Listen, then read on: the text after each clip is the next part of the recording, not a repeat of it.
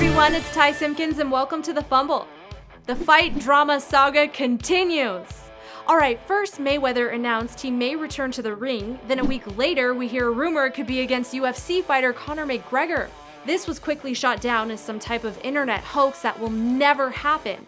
The president of UFC, Dana White, fueled that fire by saying, It's not true, it's just a tabloid story. Now, ultimately, what Dana White says is what goes because McGregor is under contract with the UFC and they don't allow fighters to compete for other organizations.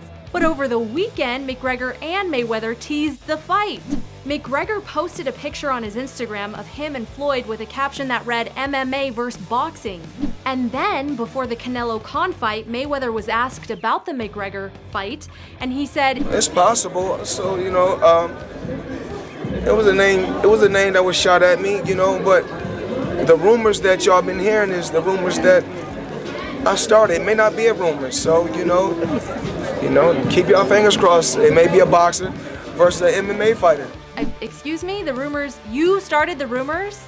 Now we're really confused. Joe Rogan recently said what we all know to be true. In an MMA fight, McGregor would kill Mayweather, but if it's strictly a boxing match, Conor probably doesn't stand a chance. Okay, what do you guys think? Do you think the UFC will let this fight happen, or is this just a bunch of BS? And who would win if it does?